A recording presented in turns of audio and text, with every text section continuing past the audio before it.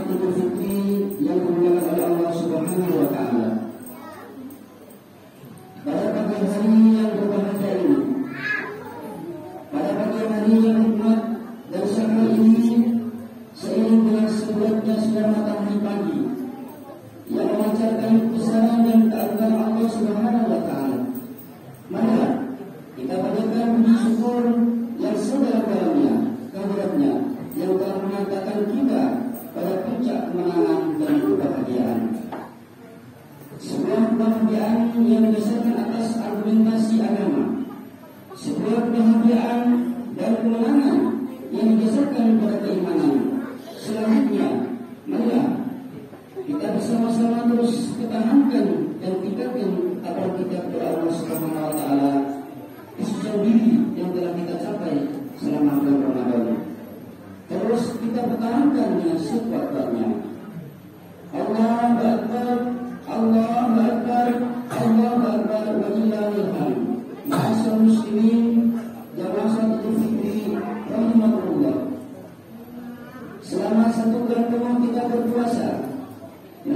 manusia besar berkumpul dalam hawa nafsu. Dengan berpuasa di siang hari, melakukan sholat tarawih di malam harinya, bertadarus Al-Quran, bersikir, memperbanyak amal dan sedekah, mengeluarkan zakat fitrah dan zakat mal, memperbanyak takbir, tauhid dan takbir. Sejak matahari tenggelam di kaki langit Tuhan Barat. Ini sabaran kita pada puncak kemenangan dan itu yaitu Idul Fitri. Sungguh merupakan kemenangan yang membahagiakan dan sangat memudahkan, terutama yang dapat merasakan kebahagiaan itu adalah mereka yang secara aktif mengikuti proses tahapan demi tahapan dari perjuangan tersebut. Dan bagi mereka inilah yang sesungguhnya mendapatkan berikat Idul Fitri yaitu kembali pada kesucian terbebas dari dosa dan mada bahkan menanggalkan bangga Allah Subhanahu wa taala mempertahankan pada penghuni dan para malaikat sebagaimana yang tertuang dalam sabda Rasulullah sallallahu alaihi wasallam. Bismillahirrahmanirrahim.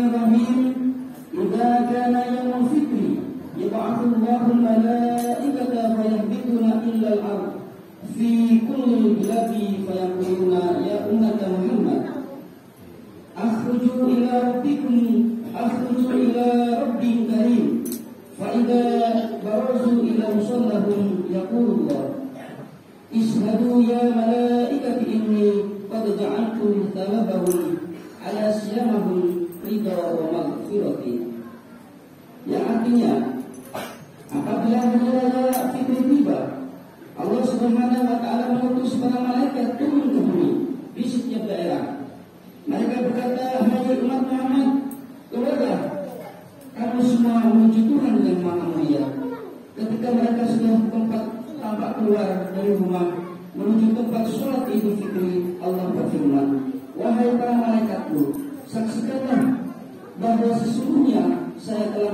mendapatkan pahala puasa mereka dengan mendapatkan keridhaan dan ampunanku. Allah Akbar, Allahu Akbar, walillahil hamd. Namun demikian, kita tidak boleh lengah dan harus tetap waspada karena pada saat ini iblis memiliki histeris. Iblis memiliki histeris mengumpulkan prajurit-prajuritnya, memberikan komando agar bekerja ekstra keras, membalas kekalahannya, dengan menjumuskan umat Muhammad ke dalam kenistaan dengan menggoda mereka agar melakukan pesta lebaran dengan budaya-budaya yang tidak islami dan menurunkan hawa nafsu mereka. Rasulullah Shallallahu Alaihi Wasallam bersabda artinya, sesungguhnya iblis telah berteriak histeris pada setiap hari raya. Lalu golongannya berkumpul di sisinya saya bertanya, wahai pemimpin kami, siapakah golongan yang telah membuat pramuka iblis murka? Biarlah kami akan hancurkan. Iblis berkata, bukan siapa-siapa, tidak apa-apa, hanya saja Allah Subhanahu wa pada hari ini telah memberikan ampunan kepada, kepada umat Muhammad.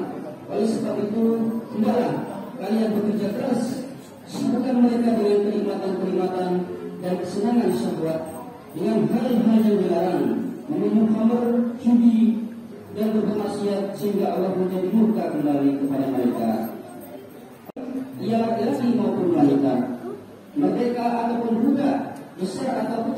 Semuanya diwajibkan untuk mengeluarkan zakat fitrah sebanyak kurang lebih 2,5 kg berupa beras.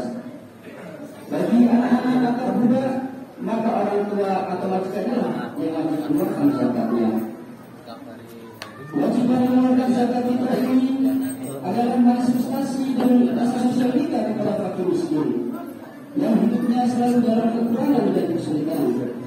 Kalau dalam suasana yang gembira dan senang serta bahagia ini, kita tidak mau peduli dengan nasib mereka, maka sungguh kasihan mereka. Sebenarnya fungsi zakat adalah untuk membersihkan harta benda yang kita miliki.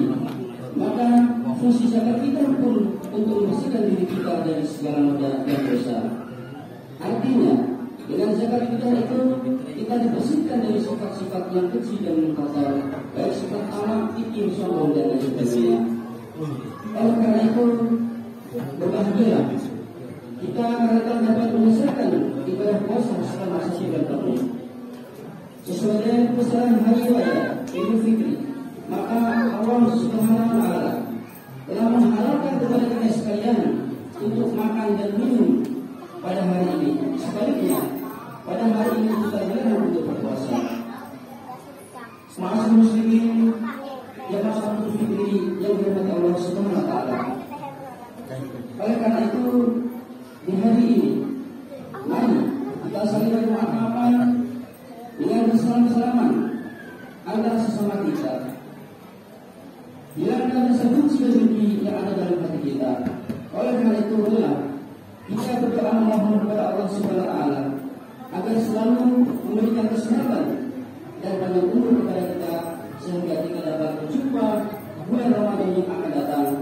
Semoga Ramadan ini menjadikan hati kita untuk selalu giat ibadah, sholat, sedekah dan yang lain sebagainya. Mudah-mudahan dengan demikian kita semua akan menjadi hamba-hamba Allah yang dalam kita takut. Ya Allah, wa iyyakum min al-faiz al-amin.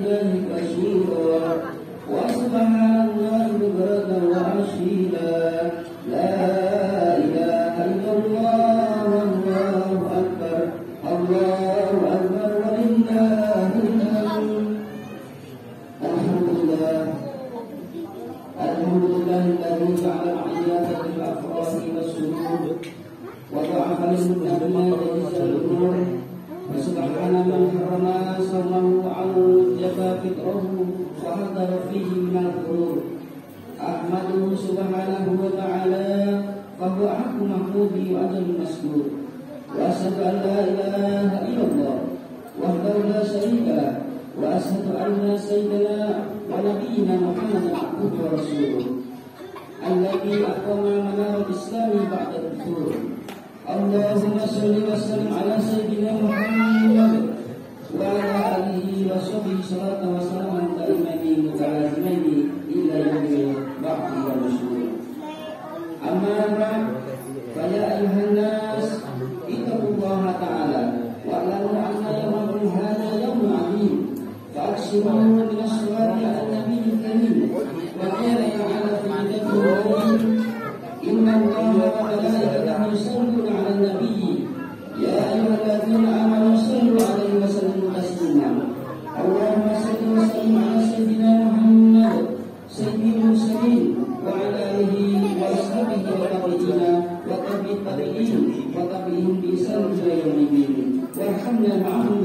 برحمتك يا اللهم اغفر للمسلمين والمسلمات والمؤمنين والمؤمنات الأحياء منهم والأموات. إنك سميع قريب مجيب الدعوات. ربنا لنا من أزواجنا وذريتنا قرة أعين واجعلنا للمتقين إماما. ربنا ظلمنا أنفسنا وإن تغفر لنا وترحمنا لنكونن من الخاسرين. ربنا لا تزغ قلوبنا بعد إذ هديتنا وهب لنا من Thank you.